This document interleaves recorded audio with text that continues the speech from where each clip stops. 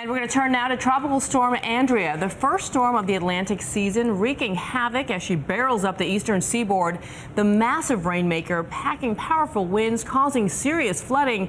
And meteorologist Ginger Zee has been tracking Andrea and has the very latest. Ginger, this storm really made a mess. It did, and for a large part of the country and very fast. I kept looking in the thesaurus to find a word that could fit fast and just found more and more because that's how this thing was very speedy, but it dropped plenty of rain. And it went post-tropical, wasn't even tropical, by yesterday afternoon afternoon. But look what it did. More than 13 inches, almost 14 inches in North Miami Beach of rain. Boston picked up over three.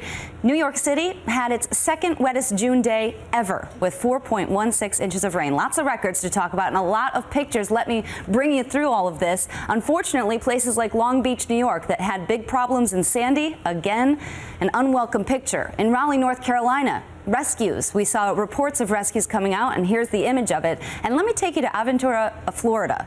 Look at this. They're on a bus and it's full of water. So imagine being on that public bus, people putting their feet up on the seats, trying to climb away from the water that was filling that bus. Fortunately, we don't have any reports of serious injury or death with this storm, so that's great news. Next up, I want to show you more from Raleigh, North Carolina. Right there, we were driving through. We went from Wrightsville uh, Beach and Carolina beaches all the way up through the state, and that unfortunately was a scene you saw a lot. And finally, more from central Long Island. This is Melville, the pictures that you'll be seeing and more rescues. So it was just a mess everywhere. And here's what I want to show you because we're saying goodbye to this storm today. It is just going to leave a little bit more rain in coastal New England, especially through the state of Maine, but it will pull away. And by 2, 3 o'clock, we're saying see you later to the remnants of Andrea. In the southeast, still some more rain, unfortunately, for Florida, and I'll be really detailing this coming up in a couple of minutes, and I'll show you the severe weather threat, Dan, in the center of the nation.